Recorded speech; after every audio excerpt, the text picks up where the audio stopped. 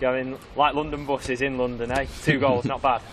Yeah, it's um long time coming. It feels like had a few chances over the last few weeks, and then obviously I had an early chance today in the game.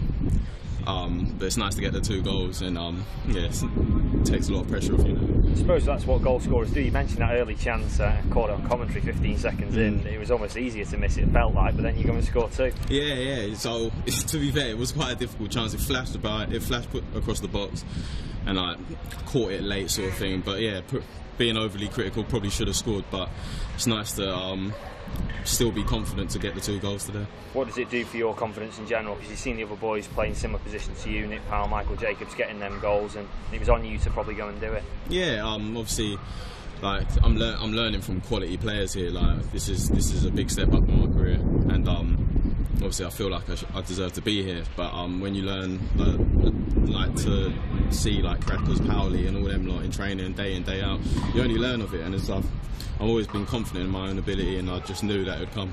Going away from yourself, what a team performance though coming here. Oh yeah, it was um considering what like we didn't play our, to our best on Saturday.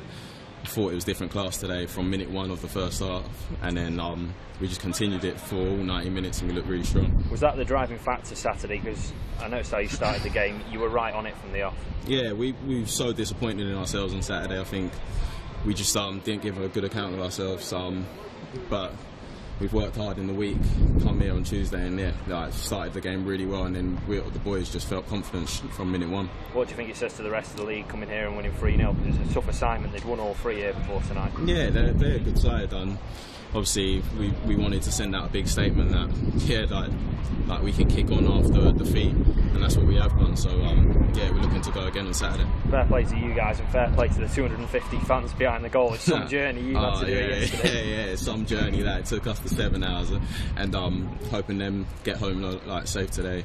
But um, they were a different class. Um, dragged us all the way through to the final whistle. A couple of the home games now. That's where promotions won and lost, isn't it, on your own patch? Yeah, definitely, and we've been good at home. Even the Portsmouth game, we was different class, so um, we're looking to continue that, and we we're full of confidence, so we can go there and hopefully get six points.